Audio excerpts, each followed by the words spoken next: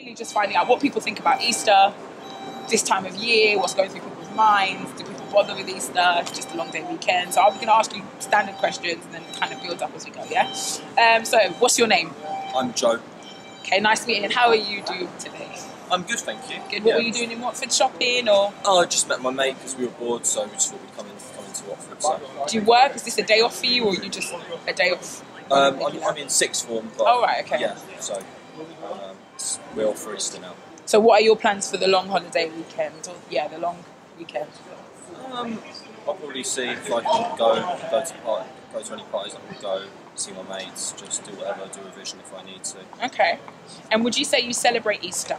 Do you commemorate Easter as a as an occasion? Um, I kind of feel like I should, but I don't. I'm, I'm, I'm supposed to be a Catholic, but I'm, I'm, I'm an atheist, so I don't really go in for like looking at um, Easter and what it's about. It doesn't really interest me that much Why would you say you feel like you should then?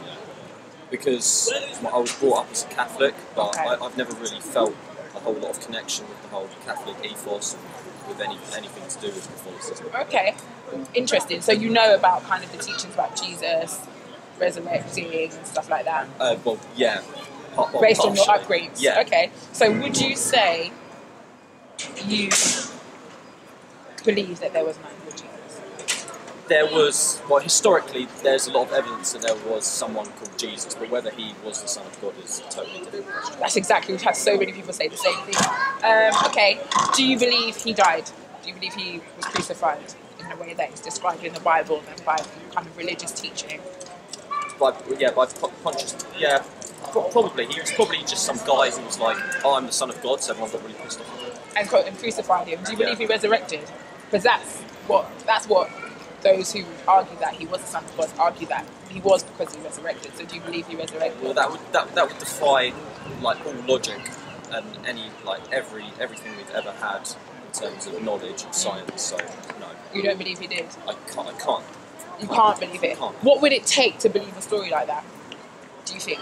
If someone was to try and persuade you, what would they need to produce? They need to produce evidence that God wasn't just made up to keep all the poor people poor, because in my opinion, God was only made up to make people. Um, so it was made by the rich people to make it so uh, all the poor people remain poor because they think, oh, it's okay that I'm poor because all the rich people are rich, but um, that, that's fine because they're wrong because like, we're working hard, but we're going to get to go to heaven whilst the rich people won't. And that was why it was made up to keep the status quo and the working class to working class and the rich to rich. Okay, So interesting, interesting. At uni, I studied slavery, so I know very much that Yeah. that was kind of foundation for taking people away from their homes and oppressing them Yeah. for ages. That it was used as a concept. God was used as a concept to oppress people. But in terms of the story of Jesus and the whole idea that he resurrected, what would it take to believe that there was a man that resurrected? What do you think people want to give you? Because you say we should prove that there, or people would need to prove that God was just a made-up concept and that He's real. yeah. Wouldn't, if someone could prove that Jesus resurrected, wouldn't that prove that God was real? If they could prove that Jesus resurrected, I guess it would prove that God was real, but to prove it, you couldn't. How would you not? Why would you?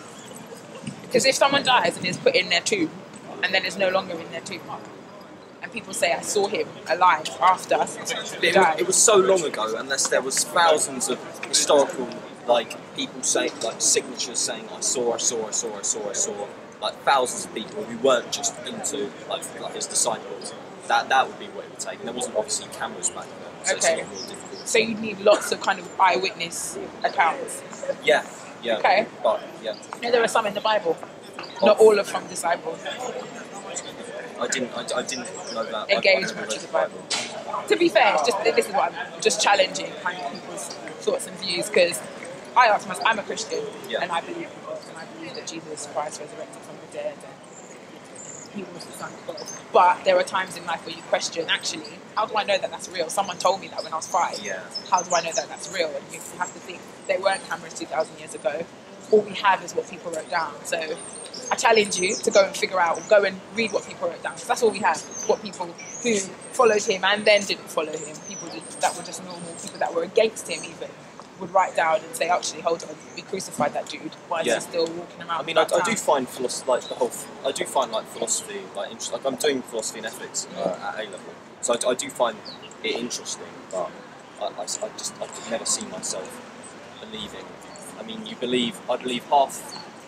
Well, what's the quote? You believe half. Of, What you see, yeah, that quote. yeah, okay. You know that. That quote, that quote. The one that we don't both know fully, but we both know. that one. Fair Yeah. Anyway, thank you very much, Joe. Joe? Yeah. For sharing your thoughts. Thank you. Have